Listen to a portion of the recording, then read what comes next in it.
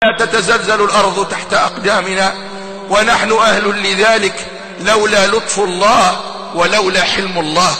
أقسم بالله إننا نعيش تحت ألطافه وتحت حلمه وتحت رحمته سبحانه وتعالى. ولو يؤاخذ الله الناس بما كسبوا ما ترك على ظهرها من دابة. كيف لا تتزلزل الأرض من تحت أقدامنا؟ وسب الله ظاهرة انتشرت في مجتمعنا. هذا يسب الله وهذا يستهزئ بسنة رسول الله وهذا قد ترك الصلاة وهذا قد عاد أولياء الله. كيف لا تتزلزل الأرض من تحت أقدامنا؟ وقد بارزنا الله جل وعلا بأكل الربا الذي هو حرب على الله ورسوله. يا أيها الذين آمنوا اتقوا الله وذروا ما بقي من الربا.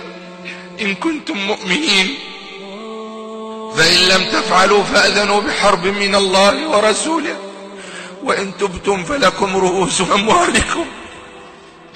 لا تظلمون ولا تظلمون. كيف لا تتزلزل الأرض من تحت أقدامنا؟ وقد تساهل الناس بالتعامل بهذه الكبيرة وهذه المعصية بالربا. كيف لا تتزلزل الأرض من تحت أقدامنا؟ ويتعاطى الكثير منا الرشوة والسحت وأكل الحرام. كيف لا تتزلزل الأرض من تحت أقدامنا؟ وكثير منا قد تسربل بشرب الخمر. وها هي وها هي مجموعة تستنكر أنه أنكر عليها وألقي القبض عليها حينما وقعت في ترويج الخمر وبيعه. فراحوا يستنكرون على بعض الدوريات الأمنية ويحتجون أن منعوهم من ترويج الخمر وبيعه. رحماك ربنا رحماك كأنه يريد أن يقنن الخمر أكثر ما قنن له. نعم كيف لا تتزلزل الأرض من تحت أقدامنا؟ وقد كثر الزنا وطم وعم والعياذ بالله. وهتكت الأعراض وتساهل الناس فيها. كيف لا تتزلزل الأرض من تحت أقدامنا؟ وقد كثر عقوق الوالدين. وكثرت قطيعة الأرحام وكثر سوء الجوار. كيف لا تتزلزل الأرض من تحت أقدامنا؟ وقد هجرت بيوت الله عز وجل إلا من هذه الجموع التي وفقها الله تبارك وتعالى. كيف لا تتزلزل الأرض من تحت أقدامنا؟ كيف لا تتزلزل الأرض من تحت أقدامنا؟ وقد اتخذ الكثير منا من الكذب مركبا فصار يروج الأكاذيب والإشاعات تلو الإشاعات لتشويه زيد وعمر من الناس. كيف لا تتزلزل الأرض من تحت أقدامنا؟ وقد كثرت الغيبة في المجالس فصارت فاكهة الناس التي يتفكهون بها وصار الناس يخوضون في أعراض بعضهم البعض. فتلوثت الأفواه وتشوهت الأسنان بتمزيق لحوم الناس. كيف لا تتزلزل الأرض من تحت أقدامنا؟ وقد كشفت الكثير من النساء عن مفاتنهن وشعورهن وعن ما يجب إخفاؤه لله تبارك وتعالى. كيف لا تتزلزل الأرض من تحت أقدامنا؟ وقد كثر البهتان والزور وشهادة الزور. كيف لا تتزلزل الأرض من تحت أقدامنا؟ وقد كثر السحر وانتشر وانتشرت العرافة والكهانة والكهانة في المجتمع. كيف لا تتزلزل الأرض من تحت أقدامنا؟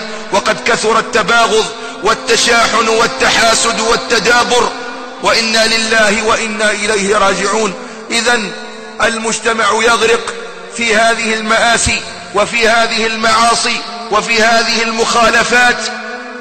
المجتمع استهان كثيرا بأوامر الله وبحدود الله تبارك وتعالى وإنما مثل المجتمع كركاب سفينة واحدة. كما قال النبي صلى الله عليه وسلم مثل القائم على حدود الله والواقع فيها كمثل قوم استهموا على سفينة فأصاب بعضهم أعلاها وأصاب بعضهم أسفلها فكان الذين في أسفلها إذا استقوا الماء قالوا لو أننا خرقنا في نصيبنا خرقا ولا نأتي على من فوقنا فلا نؤذيهم. قال فلو أنهم تركوهم وما أرادوا لهلكوا جميعا ولو أخذوا على أيديهم لنجوا ونجوا جميعا.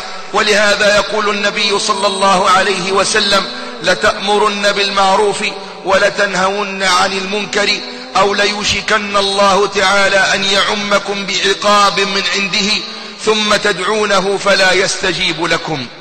نعم واتقوا فتنة لا تصيبن الذين ظلموا منكم خاصة.